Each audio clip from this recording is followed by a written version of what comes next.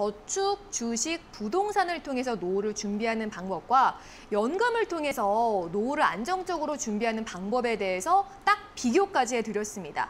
자, 그럼 이쯤 돼서 생각나는 질문이 기존에 연금을 준비하신 분들도 꽤 많이 계시잖아요. 자, 그런 분들은 어떻게 하면 좋을까요? 네, 어, 안타깝게도 물론 기존에 연금을 준비하신 분들께서 음. 그냥 그대로 잘 유지하시면 된다 라고 답변을 드리면 너무 좋겠지만 네. 꼭 그렇지만도 않습니다. 저희가 따져볼 것이 몇 가지 있는데요. 공시이율형 연금보험, 이제 금리 연동형이라고도 하죠. 이 보험은 매달 발표하는 보험회사에서 발표하는 공시이율에 따라서 이자가 어, 적립이 됩니다. 이 보험개발원에서 공시 기준이율이라는 것을 발표하게 되고요. 어, 회사 자사의 운용 자산 어, 수익률과 어, 그리고 공시 기준 이율을 가지고 공시 이율을 만들게 됩니다. 네. 음, 이 공시 이율은 보통 금리 연동형 상품에 어, 적용이 되고요.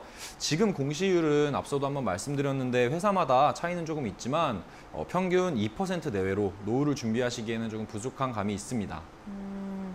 사실 연금은 한 살이라도 어릴 때 빨리 준비하는 게 맞다라는 얘기를 많이 저희도 드리고 알고 계시지만 요즘은 이자가 2%밖에 되지 않다 보니까 아, 지금 내가 잘 준비하고 있나? 이런 고민이 많이 되실 것 같습니다. 저도 사실은 2% 연금이면 좀 꺼려지게 되거든요.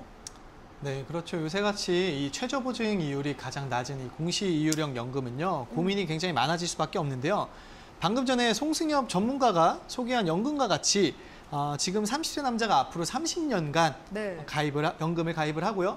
65세 때 평생 연금으로 받기 시작한다 똑같이 가정했을 때요. 네. 월에 15만 원을 30년간 내면 어, 총 5,400만 원을 내게 되는데 네. 65세부터 연금을 받게 되면 100세까지 최저보증 이율 기준으로 한 달에 13만 원씩 총 5,460만 원을 받거든요. 예, MC님이 걱정했던 것처럼요. 정말 내가 낸 돈 그대로 돌려받는다는 말이 여기서 나오게 되는 겁니다. 여기에 물가 상승률까지 고려하면 내가 낸 돈보다도 못 받는다고 할 수가 있습니다. 이러면요. 정말 이 연금을 가입할 만한 이유가 없겠죠.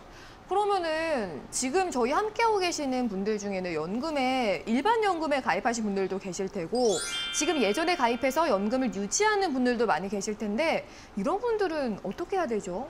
안타깝게도 지금 연금을 갖고 계신 분들 같은 경우 그냥 그대로 가져가시면 됩니다 라고 말씀드리고 싶지만 꼭 그렇지만도 않습니다. 실질적으로 연금을 얼만큼 수령할 건지 한번 어, 살펴보셔야 되는 부분도 있는데 어, 대안을 만약에 준비를 하셔야 된다면 저희가 계속 얘기하고 있는 5% 최저보증형 변액연금이나 ETF에 투자할 수 있는 ETF 변액연금을 준비하시는 것이 하나의 방법이 될 수 있습니다.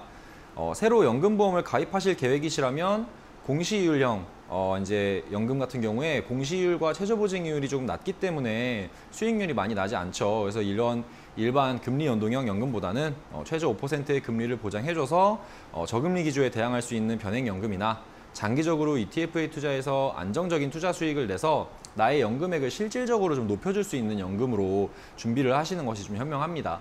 어, 확정적으로 확- 안정적인 노후를 준비하고 싶으신 분들 같은 경우는 5% 최저보증형 변액연금으로 선택하시면 되겠고 음, 투자 성향이 좀 강하시거나 나는 투자 수익을 좀 노리고 싶다 어, 라고 하시는 분들은 ETF에 투자할 수 있는 ETF 변액연금으로 준비하시기를 추천드립니다. 모두 동일한 조건으로 30세 남성이 월에 15만 원씩 30년간 납입 후에 65세에 연금을 개시한다는 조건입니다. 예상 연금 수령액은요. 보시는 바와 같은데요.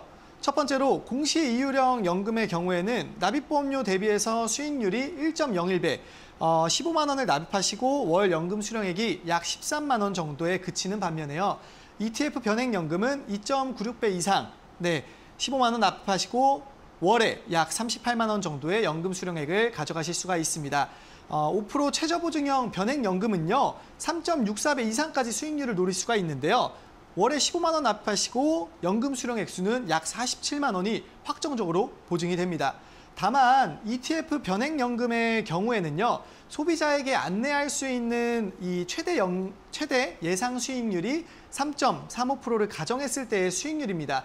미래의 수익률 보장해주지는 않지만 실제로 이 해당 연금보험 상품의 누적 수익률들을 고려한다라고 하면은 장기적으로 더 큰 수익률을 노려볼 만하기 때문에 예상 수치는 참고해 보시면 좋을 것 같고요. 그렇기 때문에 이 위험을 감수할 수 있는 분들에게 적합하죠.